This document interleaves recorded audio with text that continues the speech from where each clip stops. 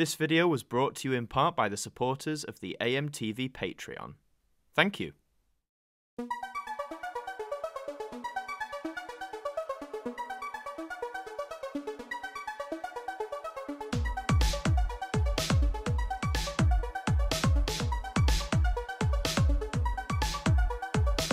Hello, and welcome to the iDent Review Extra, the spin off show that takes a look at one individual ident each episode and gives it the review it deserves.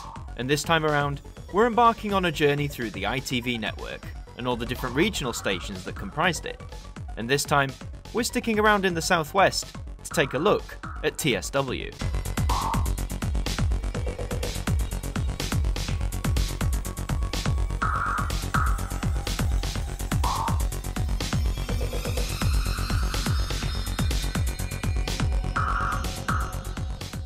Viewers in the southwest of England had enjoyed commercial television thanks to Westward TV, an ITV franchise holder that operated between 1961 and 1981.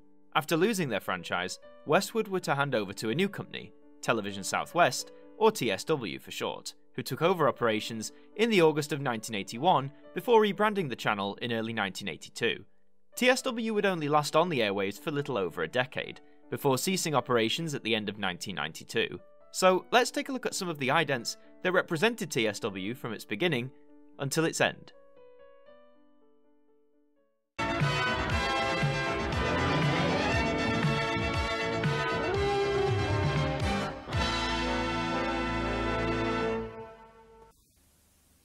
In the new year, TSW goes traditional with the Roy Pellet Hot Shots.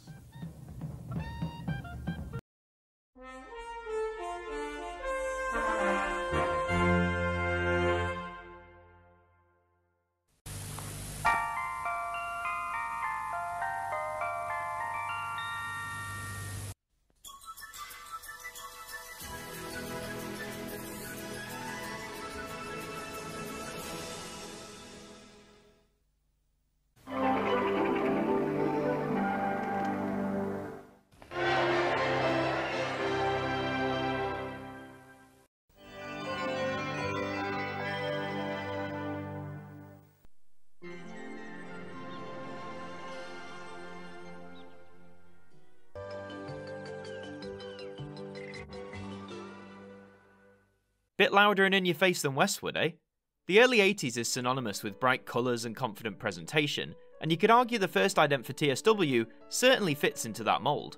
It's also quite elaborate for an early 80s ident, as we see this blue blob form over what I think is a television screen, before multiplying and folding over into several green spheres, the TSW logo appearing below it. The logo is an absolute stunner and echoes that early 80s blockiness in terms of digital computer technology, but also feels quite timeless and truly memorable.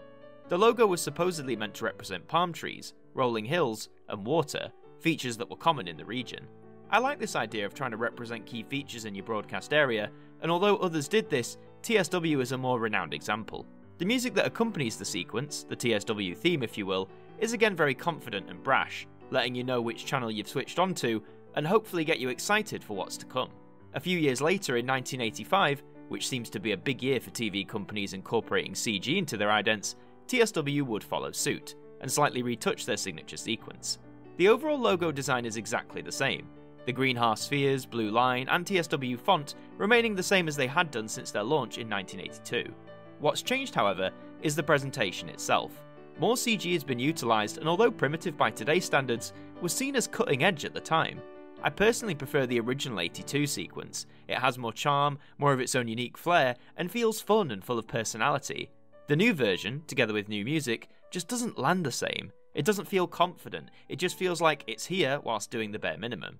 Like it wants to adapt to what everyone else is doing without providing a unique TSW spin. In 1989, ITV would introduce its own ident for the first real time, inviting all franchise holders to adopt the generic sequence, which would be altered appropriately depending on the region to display the right brand. Whilst this one here was designed for TSW, they decided against using it, instead deciding to stick with their own sequences. The final major alteration to TSW idents would arrive the same year, in 1989, in which TSW was treated to a new logo, now just a very standard font, and seasonal variants to be played depending on the time of year. I like these ones, short as they are. They feel fresh and exciting, their music feels appropriate for their respective times of year, and my only major complaint is the dropping of the TSW logo. I think it could have easily been adapted for the different seasons, but dropping it and changing to the font like a Times New Roman design, that feels a little lackluster. Nevertheless, I'd happily take these over the 85 variant any day. As mentioned, TSW would only last for just over 10 years, as towards the end of 1992, they would lose the Southwest franchise and be taken over by West Country, who came into operation on New Year's Day 1993. Despite lasting a shorter amount of time than its immediate predecessor, TSW has gone on to remain a popular favourite, particularly with those who grew up with it in the Southwest during the 1980s. Its confident initial approach, together with a memorable logo and main ident, helped it easily fill the space Westward left behind and carve its own notch into the ITV network. It remains one of my favourite franchises in terms of the logo, and its idents may not always have been the most memorable, but they remain somewhat appealing to this day. So as viewers wave goodbye to TSW, they would have to prepare for its successor to take control, as 1993 was ushered in. But even with all that change, there are some who will always remember that confident theme tune and the block green and blue logo. As to them, that's the station of the Southwest. And so that brings us to the end of another episode of the iDent Review Extra. If you enjoyed this look back at TSW, then please leave a like, comment your thoughts below, and subscribe to the channel for lots more iDent related content. I've been Adam Martyn from AMTV, thank you for joining me, and I'll see you next time. Well, that does bring us to the end of another day here on AMTV. We do hope you enjoyed the programme, and a special thank you to our patrons for helping to support the show, and to everyone who's tuned in. Until the next broadcast, we wish you a good night.